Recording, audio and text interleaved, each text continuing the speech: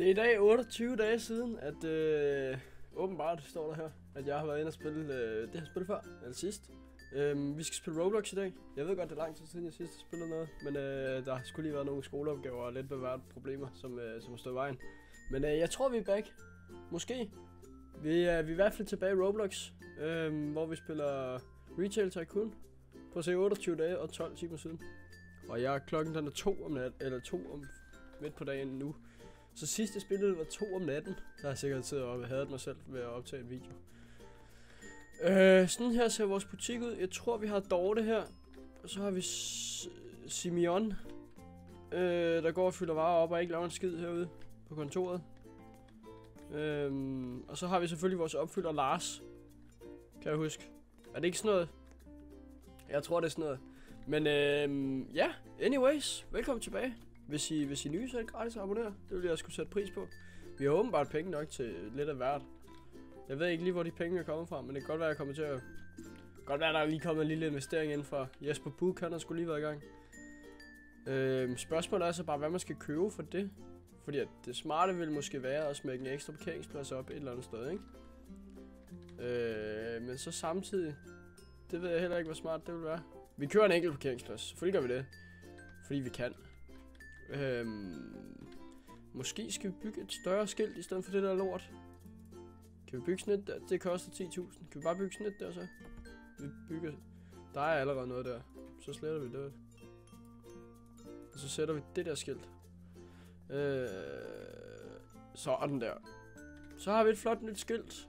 Og en parkeringsplads. Det har vi simpelthen lige givet mega meget ekstra for. Åh, oh, 20! 20! 20! Var der ikke en 20? Nå, jeg tror, det var en 20. Sorry. Hey, stjæler du? Ah, men for helvede, kan du ikke samle op? Eller i hvert fald sige det, hvis du fucking fed idiot. Nå, men så er spørgsmålet så bare, om der kommer nogen og leverer varerne også. Det ved jeg faktisk ikke, om der er. Øh, kan man ikke se det herinde? Øh, leveringschauffør, der er sgu en, der kommer og leverer vores varer. Hold nu kæft, mand, hvor er det flot. Hvor er det smukt. Har jeg vendt det, der skete forkert egentlig? Nej, nej, nej. Og ja, han har to etager. What? Det vil jeg også have. Nå, men sidst, der kan jeg huske, der fik vi lavet udvidelsen herover. Alt det her. Det blev udvidet. Og det kunne være kægt nok, hvis man lige kunne starte ud med at lave en lille udvidelse endnu. Bare lige en mindre en heromme. Så Simeon, han har et sted, hvor han kan sidde og græde. Øh, over at han har det hårdt. Øh... Hvis vi nu lige starter med at lave den der. Det er sådan en relativt stor udvidelse, vil jeg mene. Hov. Det var ikke meningen. Øhm, umiddelbart en større udvidelse, fordi så kan vi lige smække noget gulv på. Vi skal bare have det der trægulv, tror jeg. Det skal gerne være... Det er fint, det der. Hov. Det var også lidt irriterende. Så hvis vi lige smækker trægulv på der. Trægulv, det er vejen frem med sådan en flot butik her. Bingo. Sådan der, ikke? For så kan vi reelt set bare fjerne. Han behøver jo egentlig ikke et kontor. Altså der synes jeg faktisk bare, han skal holde sin kæft. Hvis ikke man laver noget, så skal man jo ikke have et kontor, vel? Er vi ikke enige om det? Og der har jeg det sådan lidt.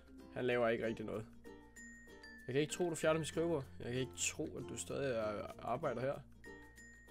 Jeg kan ikke tro, du ikke er blevet fyret. Sådan der. Bum. Måske også et tag skal vi investere i. Det er nok ikke en dårlig idé. Ved du hvad, det gør vi også lige. Øh, tag, tag, tag, tag, tag. Er det metal? Nå, ja, det tag, min Det er metal. Nice. Øh, hvor får vi tag hen? Det synes jeg også, vi havde problemer om sidst. Umiddelbart. Tagværk. Det var inde under metal, så.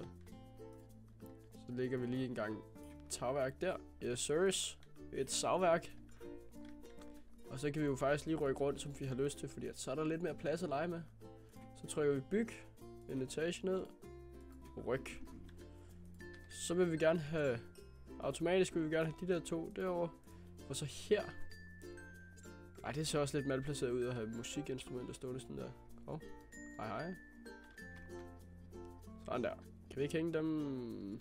Ved hvad, vi sætter dem lige der, fordi så kan vi lige rykke dem her herover i, til at starte med. Og så smækker vi musik der. Og den chips, dem kan vi sgu godt have stående der. Så har vi et kæmpe areal, hvor vi kan have lige hvad vi vil, fordi vi sætter tøj der, og vi sætter nok også nogle nye tøjhylder rundt omkring, kunne jeg forestille mig. Jeg tror, at tøj det er vejen frem, uden at vide det. Øhm, var der en ekstra, de der runde tøjting? Der var den. Den kunne også være meget nice lige at have. Øh, der. Og... Der. Nej, det bliver også grimt. Det bliver fandme ulækkert at se på. Øh, men man kunne jo godt have tændt... Nej, det kunne man ikke. Hvad kunne man ellers lige smække op? Er der noget, vi mangler? Det kunne jeg måske godt lige have tjekket inden. Ellers så smider vi noget dekoration op. Der er koldt. Det kan de godt lide. Så har vi lige sådan en plante hængende op på loftet. Der og... Øh, der. Så bliver Dorte også lidt glad, når hun er på arbejde, ikke? Måske også lige her. Nej, det ser også dumt hvad med sådan en blomsterbed ude foran? Kunne det være hyggeligt? Lige have nogle blomster plantet rundt omkring. Sådan der, så roterer vi dem lige der. Og et visen træ, det ved jeg ikke, om jeg har behov for. Øh, jeg tror, det er fint, det her. Umiddelbart. Øh, hvad med noget tilbehør? Vil de gerne have... Er der så for at holde flere varer? Det er måske ikke dumt at have en indkøbskurve så. Ved du hvad, vi sætter nogle indkøbskurve. Og jeg kan se, at vi lige har fået varer. Det er fandme lækkert. Øhm, og så sætter vi en bænk på den anden side. Sådan der. Så har vi oppe butikken kæmpe meget. Hold nu kæft, det er flot. Det kunne godt være, at vi skulle have en rengøringsdame til gengæld. Det er sådan lidt småirriterende det her. At jeg skal gå og, gå og gøre rent på den her måde. Øh, men, men pengene, de suser derind i hvert fald. Dorte, hun, Dorte, hun rammer boksen herovre. Kunne det ikke være fedt lige at have et eller andet stående på den hylde der? Og to sekunder. Jeg skal lige finde ud af, hvordan fylder jeg sådan en derop. Det gør jeg vel ved at sige, her der skal være bluser på. Og hvis jeg siger herover, der skal være slik. Der vil vi gerne have chokolade. Er der andre steder, hvor der står tomme ting? Nej, super. Så kan vi lige gå og gøre rent for fucking lortekunder imens. Som ikke kan gå rundt selv og... Kan vide, om Lars han kan fjerne... Ej, hvor er der meget svineri. Er min, er min skraldespand fuld, eller hvad? Ja, det var det. Nå, så er det fair nok. Det kan godt være, at vi skulle have sådan en pedal eller rengøringsassistent, eller hvad fanden det hedder. Øhm, jeg har også overvejet at spille noget Cruise Ship øh, Tycoon. Øhm, som en... Uh, op med hænderne! Tak. Som er sådan lidt det samme agtigt, bare med... Bare med sådan nogle, ja, krydstogtskib. Det, øh, det, det, har jeg spillet rigtig meget, da jeg var mindre sådan privat. Eller alene fordi jeg ikke har nogen venner. Øhm, og der så er Simeon, hvor han fortjener det. Øhm, men, men, men jeg ved ikke helt, om jeg gør det. Det må I lige... I må gerne skrive noget om, hvad I synes om det. Heroppe, der sidder der en hel masse mennesker og har noget... Spiller kabale. Øh, dem skal jeg ikke have, kan jeg godt mærke, hvis de bare sidder og spiller kabale. Øh, øj, hold da kæft, en lastbil han har. What? Kan jeg også få sådan en? Hallo? Hallo? Kan jeg få sådan en Men den er ret lille butikken. Jeg føler virkelig, den er lille. Der er jo næsten ingen varer. Altså, der er noget der, og så er noget herinde. Og så er der en medarbejder. Det kunne godt være, at de skulle have et større skilt. Jeg ved det ikke. Det kan også være, at de ikke havde åbent, selvfølgelig. Men så burde der måske ikke være medarbejder. Hmm. Han har penge nok, så jeg kan ikke sige noget, tror jeg. Øh, den er ved at være... Vi tømmer bare lige skraldespanden en gang. Spørgsmålet er, om jeg skal have en... Jamen, så skal jeg også til at bygge en skraldespand udenfor. Hvad koster det? Okay, 500. Det kunne godt være, at man bare lige skulle købe sådan en. Vi kører i hvert fald en skraldespand. Øh, for så kan vi altid, hvis nu... Hvor oh, burde vi lige have sådan nogle her? 2.000 stykker. Det er også dyrt. Bare lige der. Oh, vi sætter en til at starte med. Men hvis nu, så er vi da i hvert fald sikre på, at... Er der ikke noget lyd i spillet, eller hvad? Er mig der idiot? Okay, der er faktisk næsten ikke noget lyd i spillet. Øh, men hvis nu... Okay, vil vi helst have en vagt, eller vil vi helst have en rengøringsdame? Hvad koster en rengøringsdame? 200. Øh, vi ansætter sgu begge ting. Bare fordi vi kan. Bare fordi vi kan. Og samtidig med det, vi så også sætte en ny af dem der. Så er der sgu ikke nogen, der kan stjæle. You can't steal from me, bitch. Åh, oh, hej hej. Hvad hedder du? Du hedder Vagt. Og der stod Sam. Sam Prise. Same price. Haha. Nå, okay. Nej, det var virkelig... Det er jeg ked af, jeg sagde. Nå, vi hopper lige i vores, i vores Audi her. Og så tror jeg lige, vi tager gluk ned af Memory Lane, fordi ham hernede, han har nemlig også en pæn stor butik. Jeg ved ikke, om han bare gang... Det ligner lidt, han er i gang med at ødelægge den. Mere end han er i gang med at lave noget på den. Lad os lige køre og kigge. Okay, den af. Ja, okay, han har bygget et byggemarked, hvor der er drive-in-kørsel, kan jeg se. Drive-in-kørsel. Og det er et godt navn, hvis man har et eller andet. Hvis man skal bygge en indkørsel, men du kan gå køre ind og vælge lidt grus, så skal den da hedde drive-in-kørsel. Ja. Hold da kæft, mand. Jeg er Mr. Smartass. 101. Skal vi ikke lige have tændt det lys? Sådan der. Så giver det lige lidt bedre øh, kvalitet på kameraet. Hvad med, hvad med den her? Okay, det var sådan en standard butik. Den gider vi ikke se. Det kunne godt være, at der er nogen, man kunne tage inspiration fra. Og et, et godt råd til alle jer, der skal til at åbne butikker og sådan noget. Lad være med at bygge vinduer, fordi så ved folk, hvor lang tid de har været herinde. Hvis ikke der er vinduer, det er derfor, der aldrig er vinduer i sådan nogle store butikker, fordi de vil jo gerne have, at folk bliver der så lang tid som muligt, for så køber de flere ting. Så hvis der ikke er vinduer, så kan de jo ikke se, om, om det er blevet mørkt udenfor. Det er ligesom, når du er i Tyskland og tager på øh, Scanlines eller et eller andet. Så er der jo vinduer, eller så er der, er der ikke ret mange vinduer, du kan se. Fordi at de vil ikke se. De vil ikke lade dig vide, hvad klokken er. For helvede. Puh, ja, det er en dårlig ting at vide, hvad klokken er. Nå, men det positive er, at vi tjener der penge, og der er altid proppet i min butik med ting og varer og sådan noget. Øh, måske skulle vi prøve at gå ud i det der med... Altså, jeg sad lidt og tænkte på, at man kunne smække en elektronisk ting op her. Men jeg ved ikke, om min butik så bare bliver for crowded. Ved du hvad, det gør vi der. Fuck det. Og så siger vi butiksinventar. Åh, oh, forkert. Genfyld hylder. Øh, iPhones. Ba Nej, vi siger laptops, fordi det der, jeg ved ikke, om der er flere penge i dem, faktisk. Vi kan også bare sige øh, printer. Er der penge at hente i printer? I don't know. Vi sætter Playstations op. Nej, det gør vi ikke. Det kan vi ikke. Office Electronics. En makulator. Eller en soundbar, tror jeg. Ved du hvad, vi sælger bare skærm. Skærm, det er sgu nemt. Det er der penge i. Easy, easy, easy. Øh, og folk, de er ude at købe mælk. Det vil jeg også være. Jeg tager lige en appelsinjuice her engang. Mm, hænderne op. Uh, ja, det kan jeg godt lide, det der, når du går ned på knæ på den måde her. Øh, ej, det var også. Det kan jeg se. Sorry.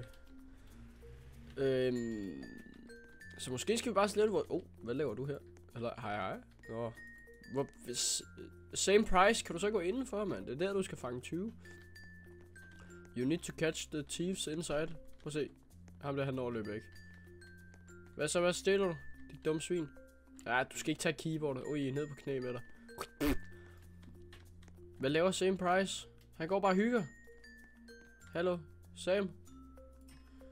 Ja, du er retarderet. Vi fyrer sgu Sam. Så ansætter vi en ny. Det har vi ikke råd til. Det er også akavet. Hvor mange 20 er, 20 er der herinde lige nu? Ikke nogen. Super. Jeg tænkte faktisk lidt på, om... Åh, oh, der var sgu en! Hallo! Ned på knæ. Øj. Øh, jeg sad faktisk lidt og overvejede, om det, det er værd at have sådan en dame herovre, for hun er hurtigere. Men det virker bare ikke som om, der er super mange, der bruger hende. Hun er ikke så brugt, vel? Altså, hun virker ikke super slidt. Øhm, og hvilket selvfølgelig kan være... Nej, han har stjålet noget. Åh, oh, eller hvad? Jeg ved det ikke. Det kan også være, bare lige forbi sådan en tøm skraldespand ting. Det kan selvfølgelig være en positiv ting, at... Øh, hold da kæft, hvor mange var. At de ikke... Øh, at de ikke går over til hende. Men det kan jo også være relativt negativt, fordi at jeg vil gerne have, at hun bliver brugt jo.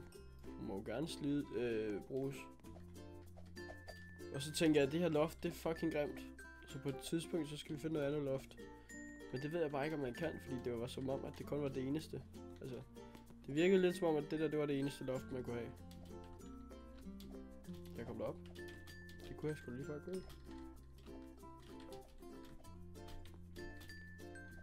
Nå, det kan vi ikke. Det er også lige meget. Så sidder vi stok bag de her indkøbsvogne. Og ja, folk bruger dem sgu. Det er lækkert nok. Jeg føler lidt, at der er... Altså, folk de køber bare mere, når indkøbsvognen er der. Så når vi får noget kæmpestort, så må vi jo få de der kæmpe indkøbsvogne, skulle jeg til at sige. Så der er manager, og så er der en hver medarbejders finansrepræsentant, kunne vi også godt have. Der var en, der stjal. Hallo? Hallo? Hallo? Var det dig, dit dumme svin? Hallo? Åh, så flygtede han bare. Det kræver noget appelsinjuice. Mm. Jeg fanger 20 hver gang jeg drikker appelsinjuice. Det er ret vildt. Jeg ved ikke lige helt, hvad der sker. Men, men... Øj! Klem det ned på knæ med... Ja, tak. That's what we like. Sat med mange 20. Men hvad er det der? Det er donuts. Donuts og brød. Åh, oh, det smager godt, det der brød. Sugar Pops. Mælk. Mælkemælk. Bukser, t-shirts, eller trøjer, bluser. Burner. Frugtsalat. Princely, eller Pringles. Noget lilla sodavand. Noget et eller andet form for sodavand. Jeg ved ikke, hvad det er for noget. Har han bygget mere over? Nej, han ser virkelig ked. Øj, øh, du kan ikke køre den vej, mate. Kom med. Kan jeg komme med? Tak. Nå, vi tager lige en tur med ham her. Okay, han har ikke helt lært at bakke endnu. Han har ikke lært at. Han har ikke spillet så meget øh, Euro Truck Simulator. Det kan vi også godt spille. Øh, hvis, min, hvis min computer kan trække det selvfølgelig, fordi den er sgu lidt gammel. Ja, så drejer du kontra. Jeg er ikke så meget. Det er fint, det der. Ja, det er flot. Lidt mere. Ja, tak. Ej, hvor smukt. Passer clean. Så er der fandme bare... Hold da kæft, et kaos. Shit, mand. Jeg vil også have sådan en lager og en lastbil. Jeg vil virkelig gerne have en lastbil. Øhm, anyways, så ved jeg ikke, om vi kan lave så meget lige nu. Herinde faktisk. Det virker lidt som om, der bare er, er proppet. Og vi kunne lige prøve at ansætte ham der. Same price igen, eller hvad han hed. Det virker lidt som om, der bare er proppet mere, end der er noget andet. Altså, der, der kommer bare mennesker, uden at vi tjener penge. Fordi at vi, vi ligesom restocker hele tiden. Øh, ja. Så jeg tror, vi må slutte af. På. Vi prøver det igen. Jeg tror, vi må slutte af derpå. Øhm, hvis I kunne lide, hvad jeg set, så vil jeg sætte pris på, hvis I gad at abonnere. Det, det er gratis. Det, det vil jeg sgu være glad for. Øhm, og ellers vil jeg bare sige tak, fordi I så med. Det sætter jeg pris på. Ja. Tak for nu. Jeg skal nok prøve at være mere consistent i fremtiden med, med uploads. Det, der skal nok komme noget i, start, øh, i, i, i den nærmeste fremtid. Vi skåler på den, og så må jeg jo videre på grinden med at få lavet noget, nogle penge i det her, det her spil. Tak fordi I så med.